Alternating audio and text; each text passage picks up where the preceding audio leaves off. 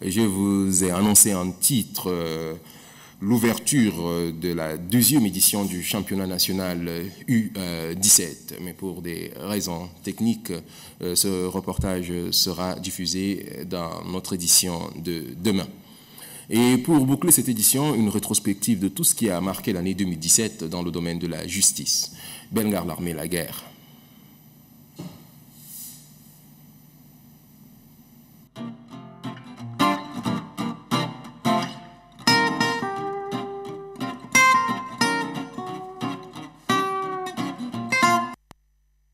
L'année 2017, bien qu'elle ressemble aux autres, est particulièrement marquée par la crise économique qui a influencé sur nombre de projets d'intérêt public. L'appareil judiciaire dont la vocation est d'établir un équilibre social entre les citoyens n'est pas du tout épargné car elle a subi de plein fouet les effets de cette crise.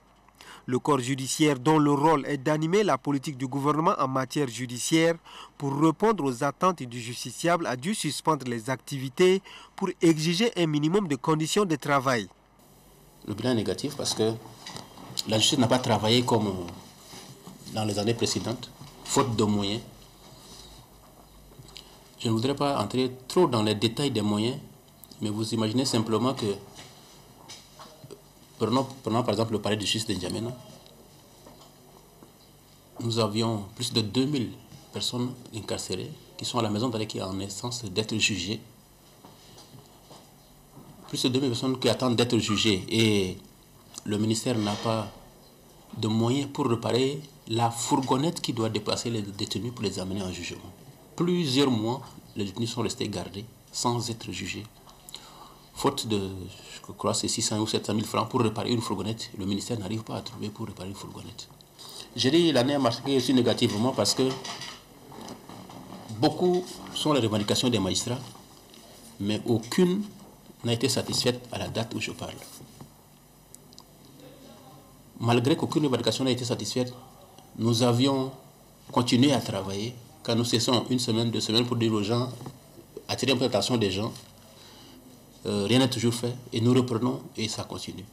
À la faveur de cette rentrée judiciaire 2017-2018, placée sous le thème La contribution du juge dans la lutte contre le terrorisme, le président de la Cour suprême a estimé qu'en dépit des difficultés, le bilan des activités est globalement acceptable. Pour toutes les juridictions confondues, un total général de 19 683 affaires enregistrées, dont 10 282 effectivement traitées soit un pourcentage notable de 52,23% des dossiers traités. Au nombre des affaires judiciaires traitées, l'on ne peut passer sous silence la poursuite périlleuse engagée contre l'ancien maire de la ville de Mundou. L'opposant Laukan Kourayo Médar, accusé de malversation financière, a passé près de cinq mois derrière les barreaux avant d'être blanchi par la justice. Aux yeux de certains observateurs, la justice tchadienne évolue à deux vitesses. Pour que les droits de l'homme puissent être respectés, il faut une indépendance de la justice. Ah, il faudrait que la justice aussi se rapproche de ses justiciables. Et pour ce faire, il faudrait qu'on ait en quelque sorte des magistrats bien formés et que le politique euh, ne s'y mixe pas au niveau de la justice pour que bon, ben, les magistrats font ou jouent indépendamment leur rôle. Un des aspects, et non de moindre, ayant marqué l'entrée du nouveau ministre Ahmad Mamad Hassan au gouvernement de Païmi II est l'attaque de Massaguet contre le convoi des prisonniers en transférant vers la prison de haute sécurité de Korotoro qui s'est soldée par nombre de morts et blessés par des individus qui seront rattrapés par la justice la procédure suit son cours comme il s'agit d'un acte criminel. Vous savez que la procédure criminelle est assez grave.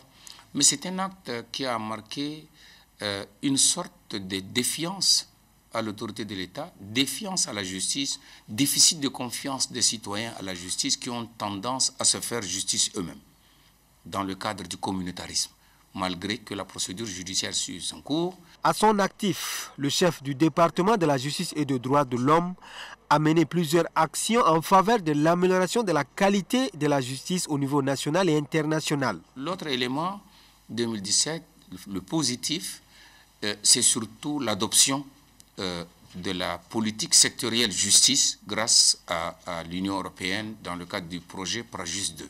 50 ans après, nous avons donc un nouveau code pénal qui euh, supprime la peine de mort qui a toujours subsisté depuis l'indépendance de notre pays dans notre législation pénale, qui a également, euh, mais il l'a fait résister seulement pour les actes qualifiés de terrorisme.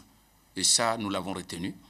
Nous avons également euh, un nouveau code de procédure pénale qui fait obligation aux magistrats, dans le cadre des procédures euh, préliminaires d'enquête, de ne pas dépasser quatre mois de, détention préventive. J'ai engagé le Tchad à une nouvelle coopération judiciaire avec les pays du Sahel en signant un accord de coopération judiciaire à Niamey. Pour se rendre à l'évidence de la vie carcérale de certains citoyens en conflit avec la loi, le président de la République, Idriss Déby Itno, s'est rendu à la prison centrale d'Amsinene pour faire le constat. Grâce à cette visite, plusieurs détenus vulnérables, en l'occurrence des mineurs, des femmes allaitantes et des personnes malades, ont été libérés par le chef de l'État, président du Conseil supérieur de la magistrature.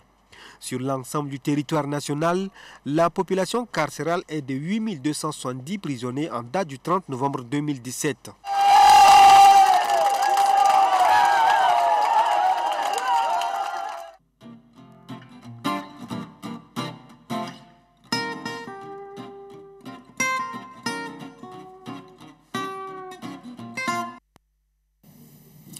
C'est tout pour cette édition. Restez fidèles au programme de Télécad. Joyeux Noël.